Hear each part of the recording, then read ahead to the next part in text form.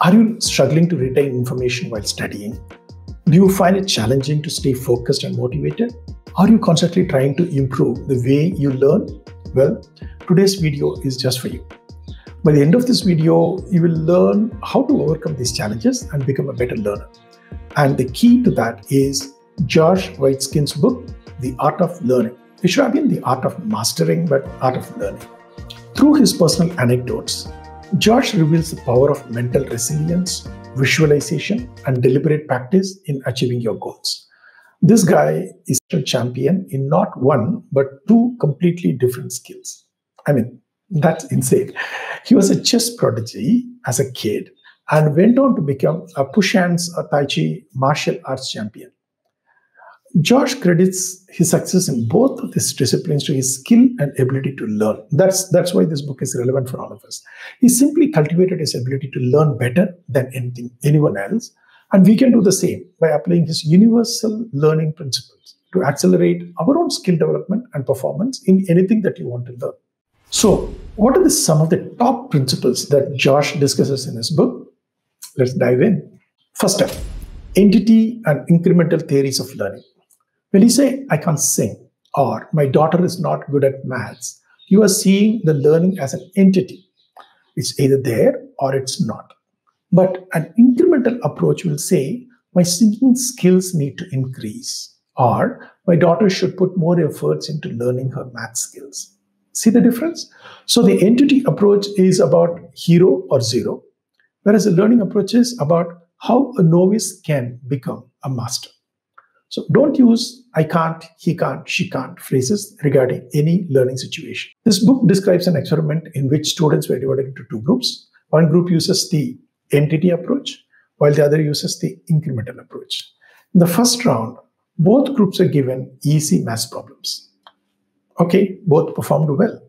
In the next round, both groups were given very tough questions that the experimenter actually knows that they can't handle it? Of course, both groups performed poorly, but the way both groups reacted was very different.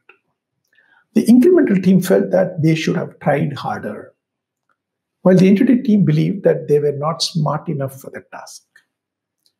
Now, the trick is in the third level.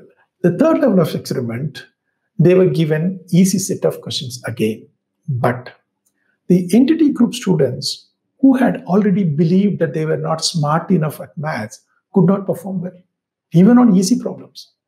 This suggests that entity approach can have long term negative effects on students. So, never talk to somebody like you are not fit for.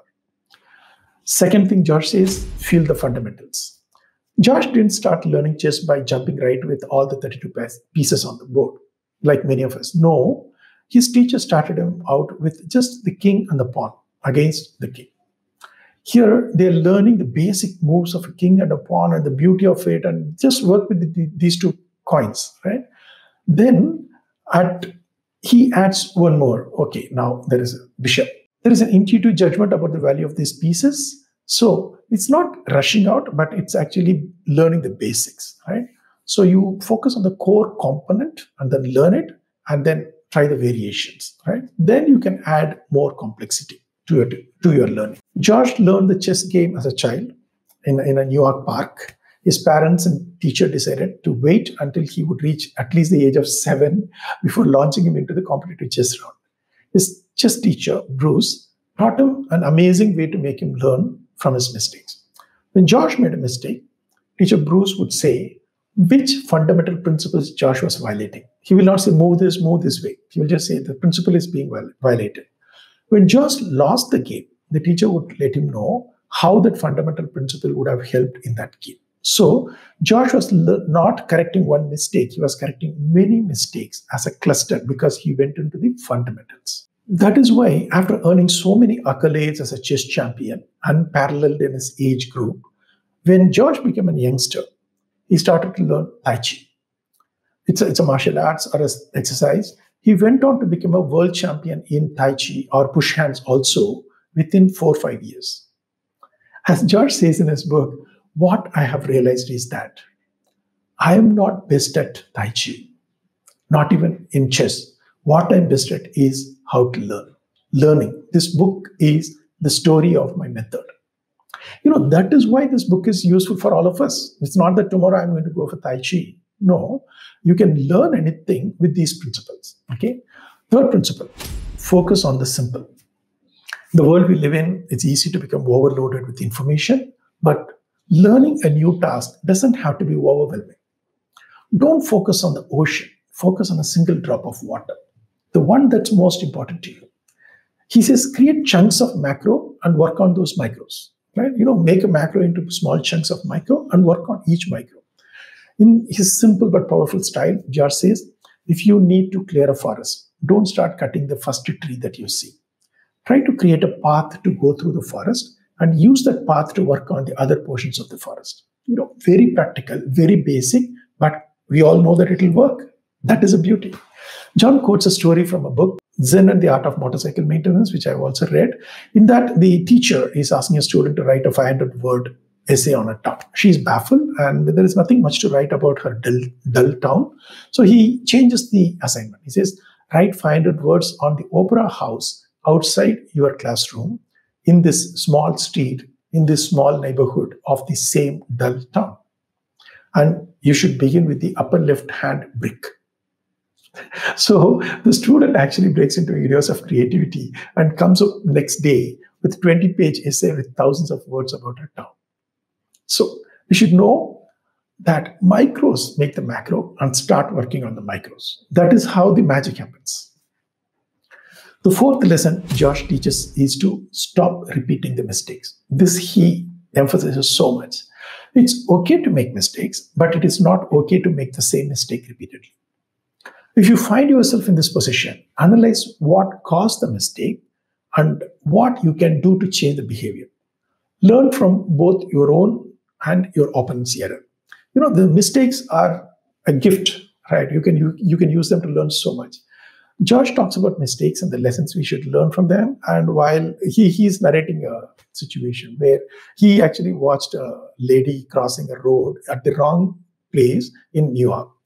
And first time she is actually brushed by a cyclist, and she is actually, instead of assessing a situation and recognizing the risk, she was just venting anger. She was shouting at the cyclist and this, and within few seconds she was hit by a car. So things went out of control when she could have actually stopped when the first mistake happened, and she didn't. So this is something a very practical lesson Josh advises to chess players or anybody who is learning. He always says that every error has a psychological angle and a technical angle. You should you should address both of them. Hmm? Very very brilliant way of looking at errors that we make. The fifth concept that Josh is saying is about improvement is a balancing act. Growth occurs outside one's comfort zone. We all know that. You need to push yourself beyond your safe spaces to learn and grow at the same time. You also need to know that it has to be balanced with the study and practice so that you, you are not completely demoralized. The book captures this sentiment with a quote Confidence is critical for a great competitor, but overconfidence is brittle. Very simple, very direct. Sixth, Josh also discovered the importance of interval training. Interval training, many people going to gym and all, we all know that there is a high intensity training and then there is a gap, and again you go for high intensity. The trick here is Josh says it is true for learning also, even mental learning. You, you want to say learn chess, intensely learn something, take a break, come back. This break, again, he says, go wash your face with cold water and come back. He's not saying look at the phone because looking at the phone is not a break to your brain. It's actually uh, makes hypertense. So break means real break. Now, seventh one, Josh tells us to approach learning like a pyramid. Start by mastering the basics, and once you have a solid foundation, add new layers of skill, knowledge, and areas to explore. As you add layers, the basic becomes easier and more natural. For instance, in the world of chess player, you know, they internalize how the pieces move and how to use the piece combination. They don't really do the mathematics every time. They can focus on the details of the game so that you start with a strong foundation, know the value of the pieces, how they move, everything. And after that, they are not in your conscious mind. You are in a strategic way. Incidentally, Josh father, Fred Waitzkin, is, has also published a book in 1988. It's about his experiment experience as a father of a very young chess champion. It's called Searching for Bobby Fischer. It actually became a movie in 1993. Bobby Fischer was a young chess champion from America. Uh, he was chess champion in 1970. So how we are looking for the new Bobby Fischer. That is how the book is coming. So if you see, there has been a series of high excellent competitors and winners. They all use almost the same set of principles. In this book, Josh is making them very easily accessible and interesting for you to take. In 1998, Josh stumbled upon Tao Te Ching, which is a, a, philosophical book, and then through that he enters into Tai Chi Chuan, which is a martial arts from China. And then he goes for the class and he feels very refreshed. No TV cameras, no media, no fan club. And he says, I was sweating, my legs were shaking, and I loved it. Right? So this is where it is. He is learning the physicality of it, which is not major element in a chess game. But now it is physical, but it's also psychological. And he loves this new challenge, how to put both. After a few initial classes, his teacher, CC Chen, tells him, why don't you go for push hands, which is a which is a sort of martial arts with a, a pair fighting. But that's also very psychological. It talks about how to win 1,000 kilograms with uh, 4 grams or uh, how to breathe in through your fingernails. You know, these kind of concepts. So Josh loves it. It's unbelievable. Within four to five years, he became the world champion in Tai Chi also. Incredible. Another thing Josh talks about is invest in your mistakes. All of us make mistakes while learning, but Josh says this investment is more lucrative. Don't go for how, how I won, go for how I lost, right? That is going to give you more insights and that will speed up your learning, right? So if you make a mistake, don't just correct that mistake. Find out why you made the mistake, how you made the mistake, correct the principle, and then you will never make it again, right? So that is a beautiful tip Josh has given. And how do you handle these things? For example, when Josh is playing with adults, they know that a small child like Josh cannot actually withhold the intensity of focus for long time. So they used to drag it. And Josh, finding that this is his weakness, right, he's saying, I realized that I should learn to do a mental marathon.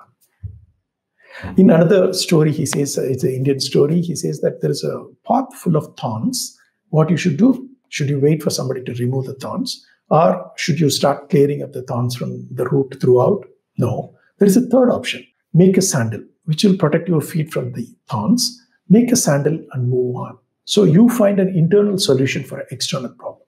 Josh is also a very good writer. How can he write the book so rivetingly with so much detail, but so much of insight and make even laymen understand what he's talking about in the expert fields, right? In one area, he's talking about this, how the mistakes and how to handle them. This is just brilliant. Great ones are willing to get burned time and again as they sharpen their swords in the fire. Consider Michael Jordan, the basketball champ. It is common knowledge that Jordan made more last minute shots to win the game for his team than any other player in the history of NBA. What is not so well known is that Jordan also missed most last minute shots to lose the game for his team than any other player in the history of the game. What made him great is not perfection, but a willingness to put himself on the line as a way of life. Yes, weaknesses need an upgrade of skills. Sometimes weaknesses will be forced upon to you by unjust means. That's very irritating, but Josh puts it recognize the relationship between anger, ego, and fear and work through those situations. Don't, don't let somebody get into your brain. You know, Josh says if someone can trigger any of these emotions in you, you are they are actually doing you a favor. Are exposing a weakness. Address it. Now, if you have this attitude, nobody can even touch you. Okay, the ninth advice from Josh is staying true to your style. Once you have internalized the basics, there is not one right way to master a skill, but there is one wrong way, and that is not being true to yourself and trying to copy somebody. To sustain your love of learning, you must stay true to your style. Focus on what initially drew you to the discipline or uh, the skill interest, and you are trying to master and turn it into a creative expression of your uniqueness. So don't don't leave your uniqueness in your learning. Uh, in some areas, Josh is actually clustering, giving a few clusters. Uh, let me say two clusters, which I found very interesting in this book. The first cluster is a sort of triangle, and he says, first, make peace with your imperfection. Second, use your imperfection to your advantage. Third, learn to create inner inspiration irrespective of the outside. Right? This is a cluster. He suggests a reverse engineering for your inspiration. Recall the moments when you felt at your best, both physically and mentally, and think what caused it, why you were so confident and happy at that time. Try to go back to that element which caused it. This going back could be literal or psychological. For example, if one of the elements when you felt up top is a cup of coffee, you could actually have a cup of coffee or even think intensely about a cup of coffee. Both trigger the same thing. and they, they actually make you at heightened alertness, which is useful for any learning. Similarly, another cluster, this is also a sort of triangle I found. One is motivation, deliberate practice, consistency. These are three threads throughout this book. Right? One is Oh, Josh says, What I have learned as a competitor is that there are clear distinctions between what it takes to be decent, what it takes to be good, what it takes to be great, and what it takes to be among the best. If your goal is to be mediocre, then you have a considerable margin for error. That's what Josh is saying. So if you start excusing yourself and repeating your mistakes, you will be mediocre. Therefore, be motivated to be your best Make peace with your perfection, but don't let them go unaddressed. Right? So look for your mistakes and attack them. This book is full of stories and themes about deliberate practice, how to learn what to prioritize, how to work on the basics until you master them, how to excel to a level where others cannot even see you doing it. These are all throughout the book gems and nuggets. On consistency, Josh says that the greatest performers convert that passion into fuel with a tremendous consistency.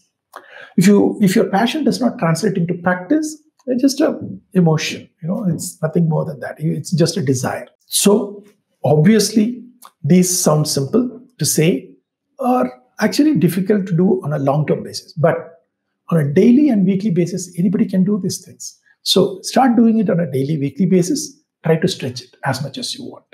They can these can take you to the top of 1% of any discipline, but you have to do it on a long term.